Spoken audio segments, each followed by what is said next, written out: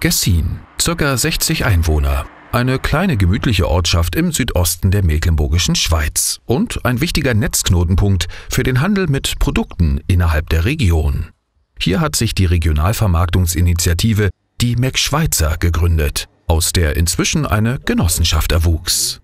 Ziel der Initiative ist es, die Logistik zwischen Erzeugern und Händlern zu vereinfachen, aufzuzeigen, welche regionalen Produkte existieren und wo sie zu beziehen sind. Helfen soll dabei eine Internethandelsplattform, die der Regionalvermarktung als neues Netzwerk dient. Auf dem Internetmarktplatz begegnen sich Angebot und Nachfrage von regionalen Erzeugnissen. Das heißt, ähm, regionale Produzenten, das können Gärtner, Landwirte, Fischer oder auch Bäcker, Fleischer aus der mecklenburgischen Schweiz sein, stellen ihr Angebot ein.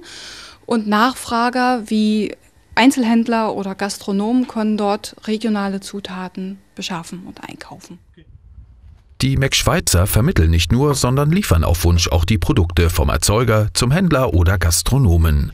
Wer auf regionale Produkte setzt, schont die Umwelt durch kurze Transportwege.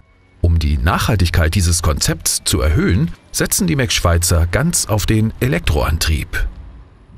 Mithilfe von Förderungen aus dem Europäischen Fonds für regionale Entwicklung wurde hier eine neue Schnellladestation installiert, die sowohl den elektrisch betriebenen Kühlwagen für seine täglichen Touren mit Energie speist, als auch den durchreisenden E-Mobilbesitzern einen Platz zum Auftanken bietet.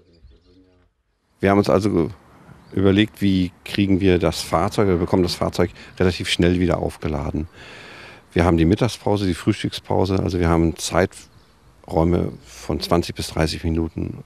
Und unsere Überlegung ist also dahin gegangen, dass wir eine Schnellladesäule haben, die also direkt Gleichstrom in das Fahrzeug hineingibt.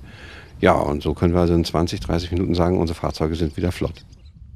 In den sonnigen Monaten wird die Energie allein aus Photovoltaikanlagen generiert und im Pufferspeichersystem vorrätig gehalten. 125 Kilowattstunden können so gespeichert werden. Auch hier wurden Anschaffung und Installation dank Förderungen aus dem Europäischen Fonds für regionale Entwicklung realisiert. Also die Investitionen sind doch erheblich, weil ja die Technologie relativ neu ist. Und ohne Förderung wäre es uns einfach auch nicht möglich gewesen, das wirtschaftlich darzustellen. Nicht ohne Stolz wissen die McSchweizer zu berichten, dass bereits im ersten halben Jahr hier eine Energiemenge erzeugt wurde, die der Tagesproduktion eines Atomkraftwerks entspricht. Würden nur ein paar Menschen mehr auf derartige Energiegewinnung setzen, wäre dem Klima sehr geholfen, so die Regionalnetzwerker.